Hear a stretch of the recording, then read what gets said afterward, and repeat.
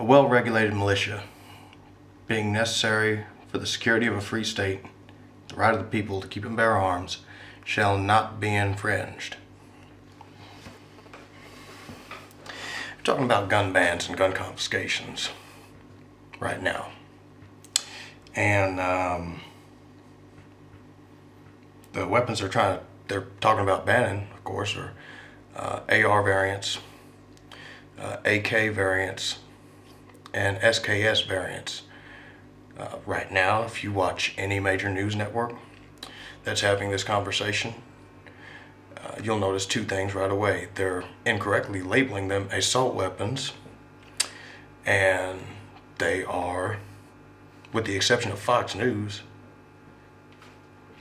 uh, for the most part, they're having the conversation from within the pro gun control community. They're not having, they're not inviting pro gun people on the shows with them for whatever reason.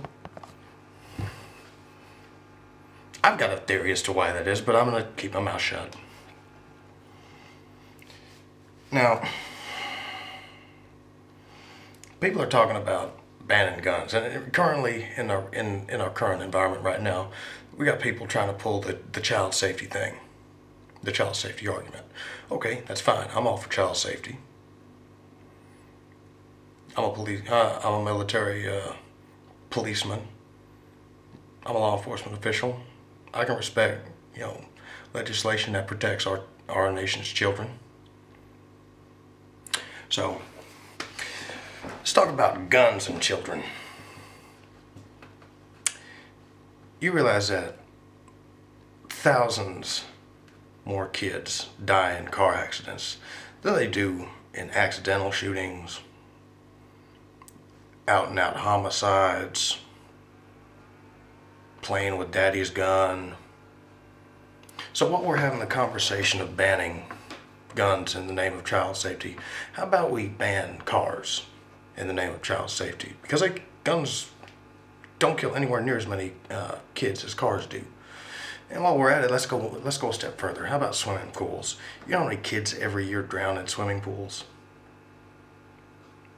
A whole lot more than get accidentally or intentionally shot. So, what we're talking about this, banning guns in the name of child safety. Let's talk about banning swimming pools and let's talk about banning cars or restricting cars uh, in the name of child safety. Because those two things combined kill much, well, even separately, kill much, much, much, much, much more children than guns do.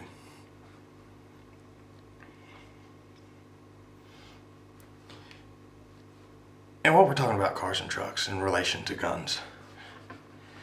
What right does anyone out there, aside from me, have to say what guns I can and can't use? If we're going to do that, then we should start regulating cars the same way. Uh, stating, you know, for instance, you can only own a pickup truck if you have a line of work that requires you to have a pickup truck.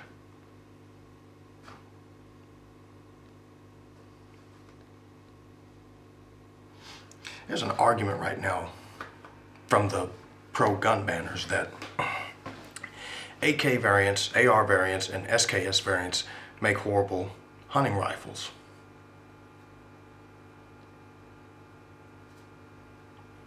First of all, what do you know about hunting? You don't know anything about hunting. If you're an anti-gun person, because you're probably an animal rights person as well. No offense to those people, but you've got people trying to regulate something they know absolutely nothing about, except what they've seen in movies and on TV. ARs, AKs, and SKSs make great hunting rifles. The reason why is because they are very modular. It's easy to build one directly in line with what you need from it. If you're making a lot of long range shots, you can put a, a bull barrel, a heavy uh, match grade bull barrel on that sucker to make it accurate for long range shooting. If you do a lot of uh, shooting at game from close range. Cool. Shorter or short barrel, uh, collapsible stock. If you hog hunt at night,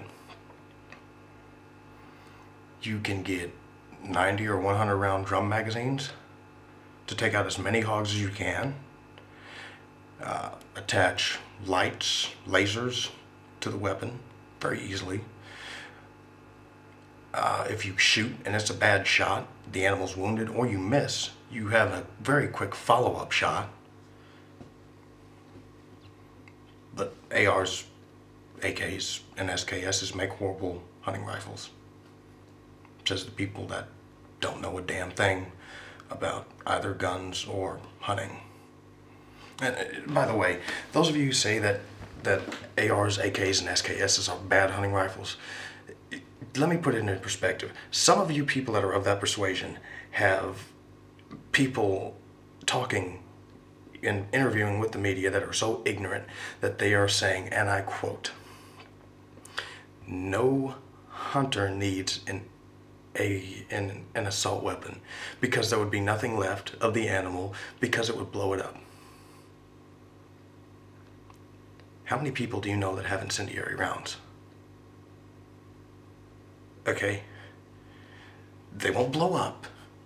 You shoot it one good time, just like you would with a bolt action rifle, or a lever action rifle, or a single shot. Make a good shot, it's gonna go down. Not gonna keep shooting. Unless it's a hog. Have been known to be pretty brutal to hogs. But that's that's not hunting, that's straight eradication and pest control. Um, ARs, AKs, and SKS variants make bad defensive rifles. Now this one is kind of a half-truth.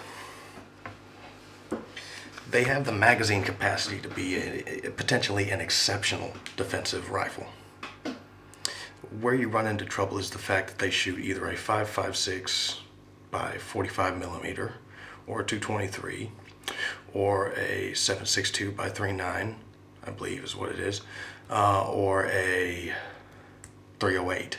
And there's a few other calibers. There's so many different calibers you can get in ARs and AKs or SKSs, uh, but it's a rifle.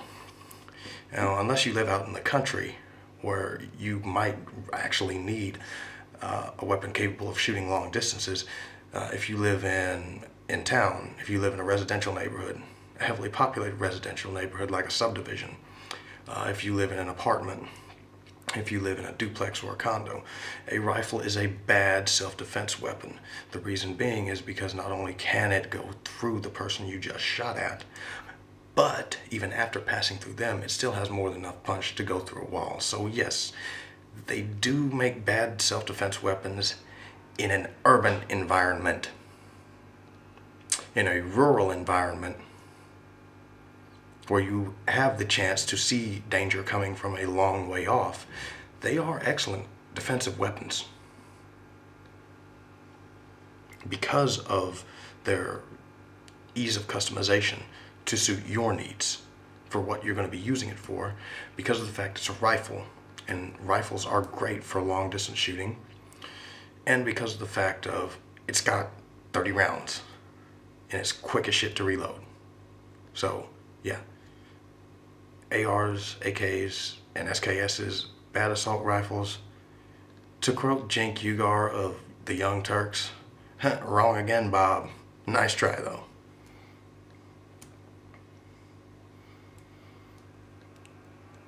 Guys, y'all are gun owners out there watching this. You need to get involved. You need to watch the news. You need to go online uh, and do some research, you need to stay informed and stay involved. You need to contact your representatives at all levels and let them know I am a gun owner and I vote. In next election, depending on what you vote for in whatever official capacity they're in, they're either going to be campaigning for you or against you.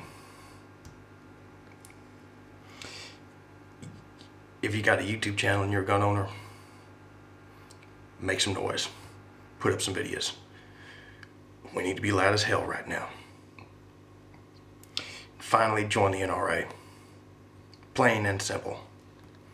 Remember, united we stand, divided we fall.